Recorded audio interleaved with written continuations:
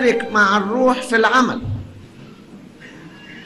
وهكذا تدخل في حالة روحية كويسة اسمها شركة الروح القدس.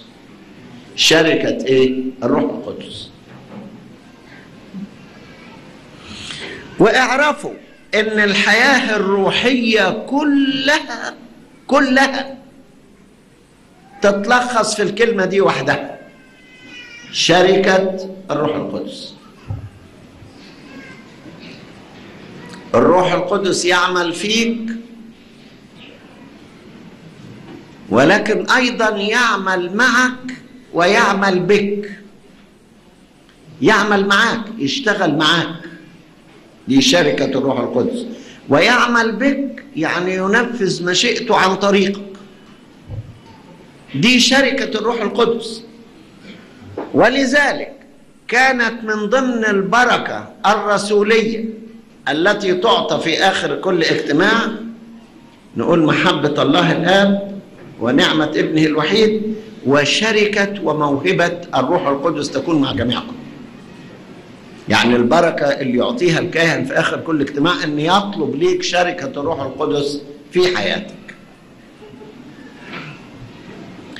طب وإيه تاني؟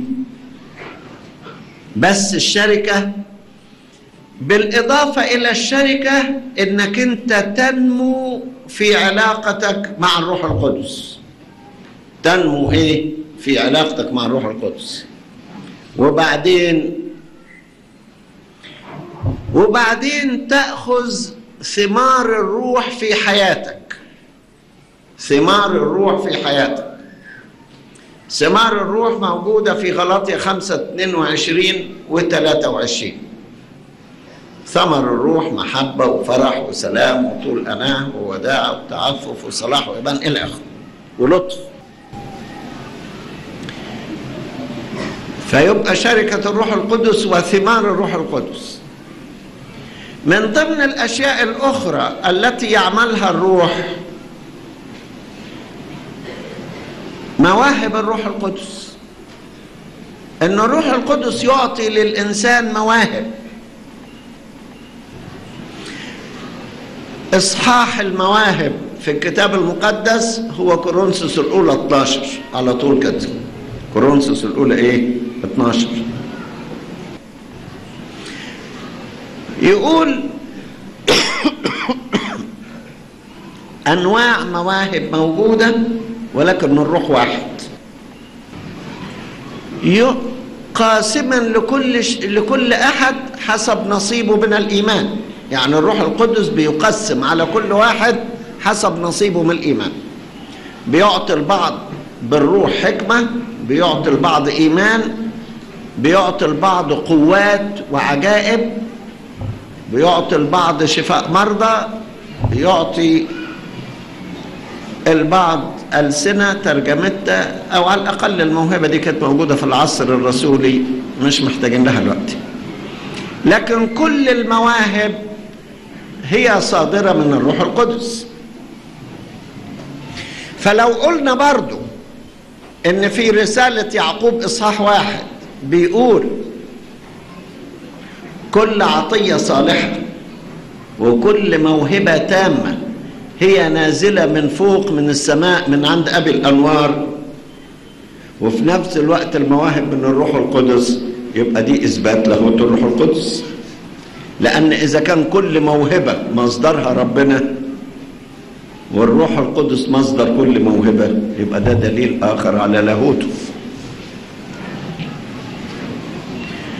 كون إن هو المحيي ومقيم الأموات ده دليل على لاهوته وكون إن هو بيعطي المواهب والمعجزات دليل على لاهوته. لغاية لما يصل الإنسان إلى حالة من النمو والكمال لدرجة نسميها الامتلاء من الروح القدس. الامتلاء من الروح القدس. إنسان يمتلئ من روح الله. ونشكر ربنا إن أول ما جاءت تباشير العهد الجديد جه معاها الامتلاء من الروح القدس. نبص نلاقي عيلة واحدة أكبر عيلة الواحد شافها في الكتاب المقدس كله من أولها لآخرها كده امتلاء من روح القدس. عيلة زكريا الكاهن. قيل عن زكريا الكاهن إنه امتلأ من روح الله واتكلم. وقيل عن اليصابات لما زارتها القديسة العذراء إنها امتلأت من الروح القدس. وتنبأت هي رخ وقالت من أين لي هذا أن تأتي أم ربي إلي؟ ويوحنا المعمدان من بطن أمه امتلأ من الروح القدس. عايزين عيلة أكتر من كده؟ الأم تمتلئ من روح القدس الأب يمتلئ من روح القدس الابن من بطن أمه يمتلئ من روح القدس. كانت هذه تباشير العهد الجديد في الامتلاء من الروح القدس. وبصينا لقينا الروح القدس قاعد يشتغل في الكل بقى على طول. من جهة العذراء الروح القدس يحل عليك وقوة العلي تظللك إلى آخره. والروح القدس قدس بطن العذراء. وكون لها ابن داخلها و... وملاها من النعم ونسمع عن سمعان الشيخ أن راجل كان فيه روح الله وجاء بالروح إلى الهيكل وأوحي أوحي إليه بالروح. وحصل له بالروح كشف وشاف إيه اللي حصل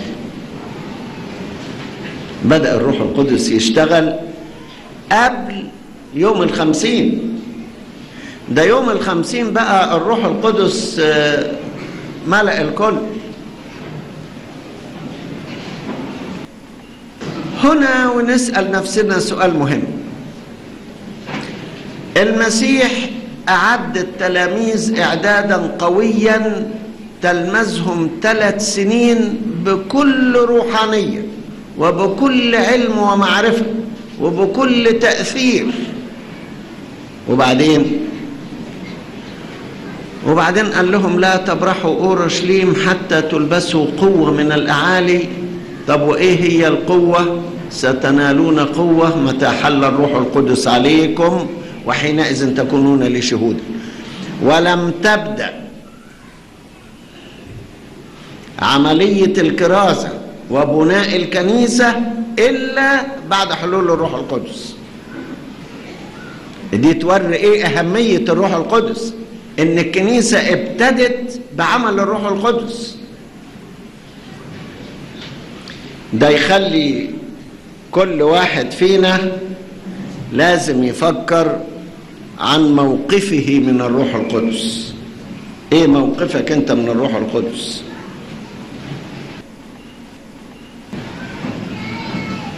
إيه موقفك من الروح القدس؟ هل الروح القدس يعمل فيك وهل الروح القدس يعمل بيك؟ وإيه علامات الروح القدس في حياتك؟ وإيه السلبيات وإيه الإيجابيات؟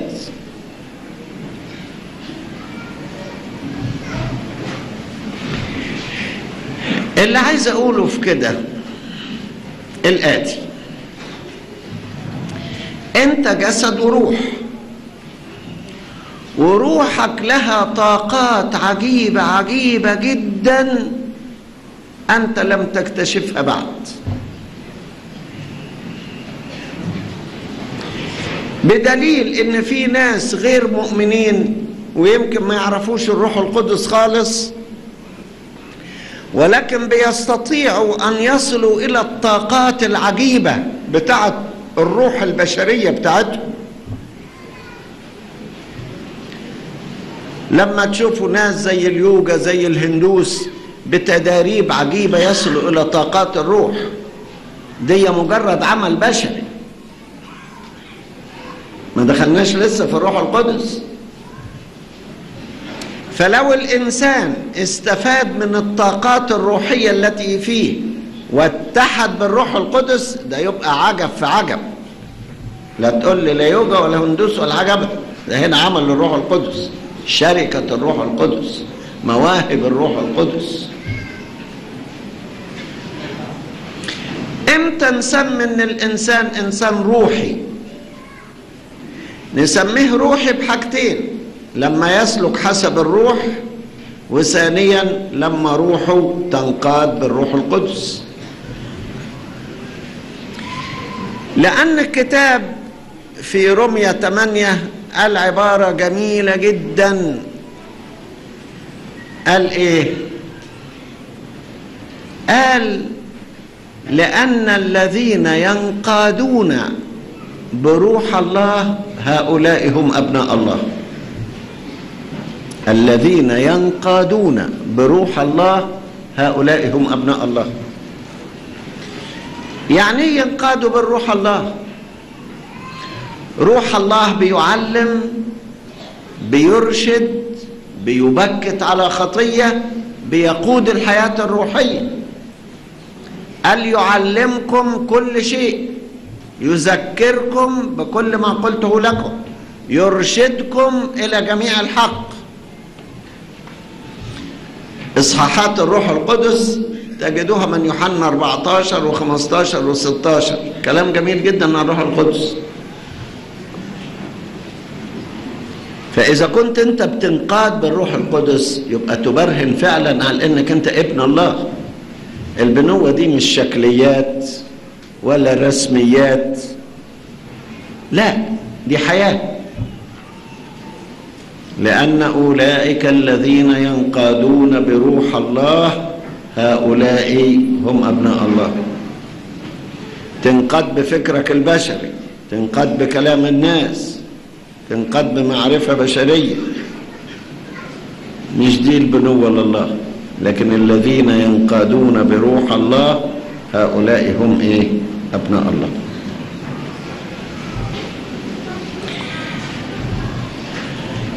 من الناحية السلبية إن الإنسان لا يحزن الروح ولا يطفئ الروح ولا يقاوم الروح ولا يجدف على الروح. نقول لهم تاني.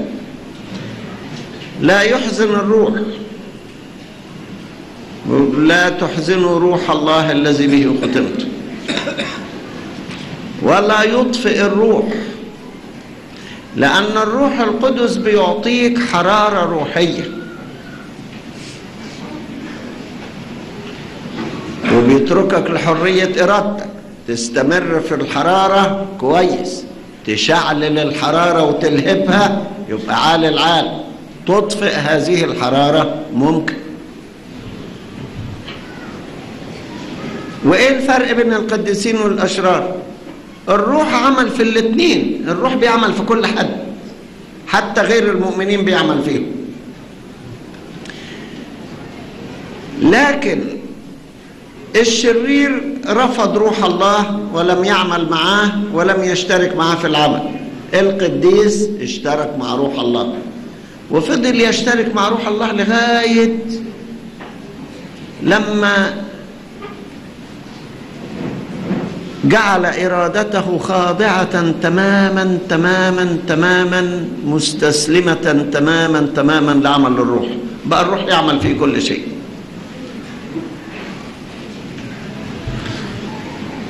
فلا تقاوم الروح.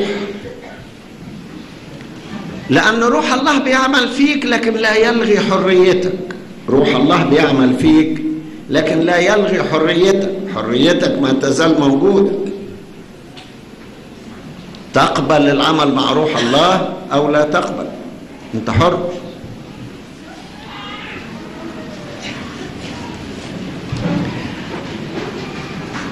لو قبلت العمل مع الروح تلاقي الروح يعطيك حرارة في حياتك. حرارة. روح الله الكتاب بيقول إلهنا نار آكلة. فروح الله بيعطي حرارة.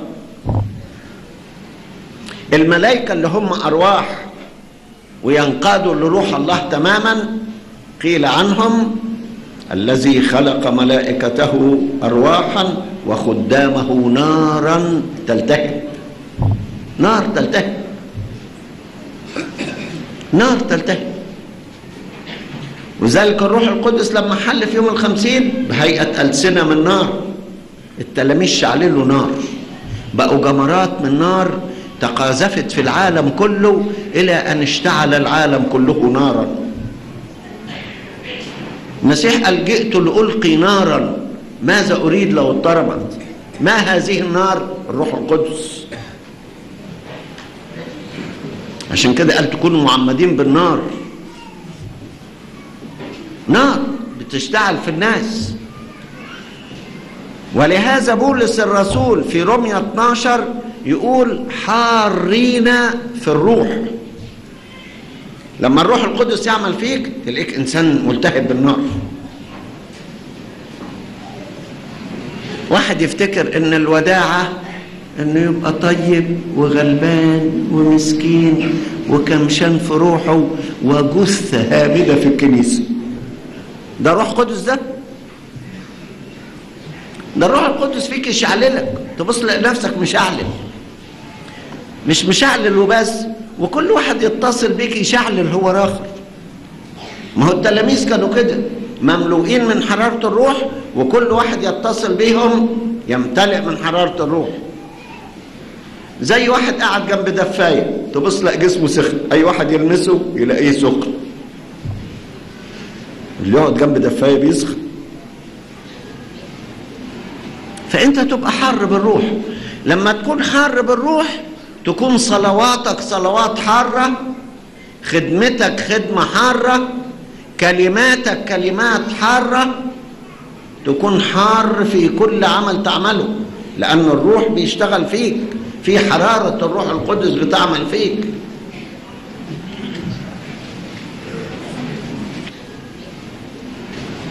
واللي يشتغل بالحرارة دي تلاقي الحرارة تلهب قلبه بالمحبة.